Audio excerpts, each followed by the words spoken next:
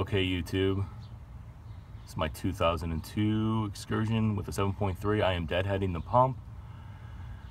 I'm having issues with running. It'll fire up and then it'll die on me about 10-15 minutes later. I'm kind of starting to lean towards the IPR, but I want to check the pressure in the high pressure oil pump. You kind of can see that I got a cap in the one side and I got the hydraulic hose in the other side I had the hydraulic hose made at a local shop for about 35 bucks with the cap.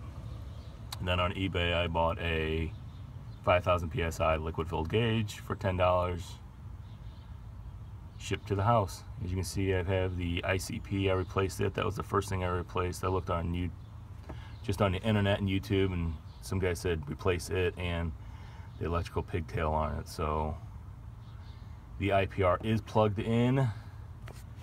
I'm going to go ahead and here's the gauge and go ahead and crank it and see what it can do.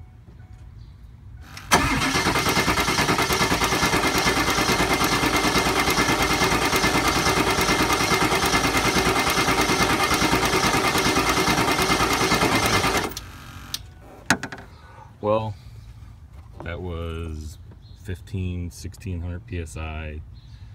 So I assume my high pressure oil pump is going out on my truck or it is out or my IPR is going out. I don't know. I've searched the internet and I cannot find anything on what my pressure should be while cranking the motor while I do this deadhead test. So if anybody's got any info, that would be awesome. All right, thank you. Bye.